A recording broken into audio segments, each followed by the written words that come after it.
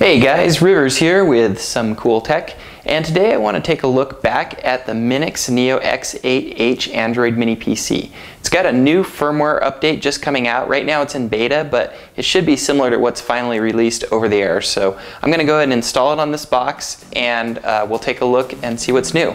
Let's go ahead and set it up.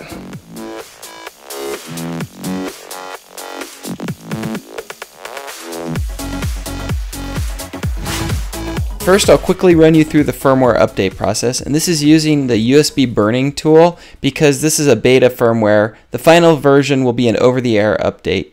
And I'll add links to the tool and the firmware in the description down below. So first, you'll need to plug in the special long micro USB cable that comes with Minix boxes. Next, you'll plug in the power cord, but it won't turn on until you push the power button. Now you'll take a paperclip and put it into that reset button, hold it in there, and then press and hold the power button for about three seconds. Let go of the power button, then let go of the paperclip. At this point, you'll hear a ding and you'll need to install the USB driver as well. Next, you may need to scroll down to make sure that your device is connected, and you can see here it's down below. Uh, at first, I missed it and I thought it wasn't connecting, but it's actually just off the screen slightly. Next, you need to locate your new image file, and I'll put a link to that in the description as well. And you're going to make sure the top two check checkboxes are checked and then hit start. The whole process should take about 5 minutes and be sure not to disconnect it until it's completely done. And now I've loaded up for the first time and it's on the Minix launcher and a lot of the updates are in the settings and also new app compatibility.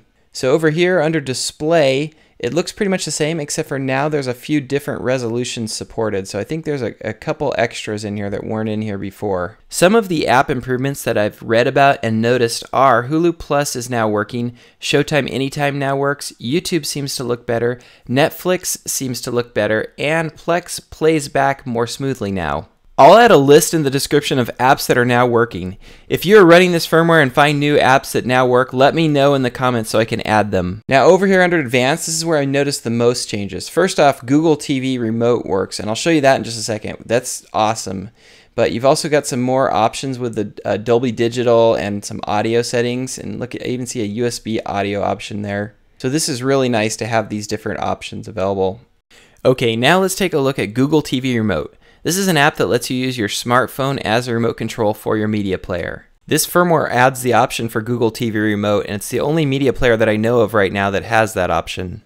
And I have to say, this totally kicks ass. This is an awesome option and it works really well, especially for mousing and typing. The only problem I've ran into so far is that you can't do pinch to zoom. So like if you want to zoom in on a map, you can't do it with this remote. You can use a mouse though for that.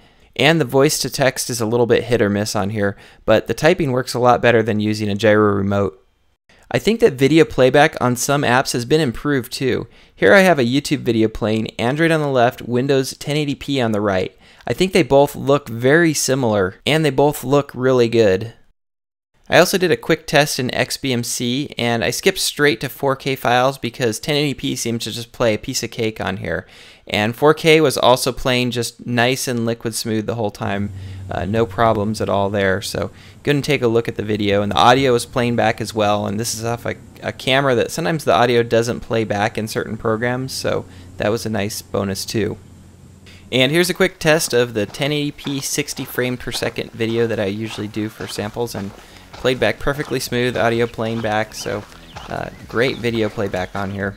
I'll add links to the firmware as well as the USB burning tool in the description down below.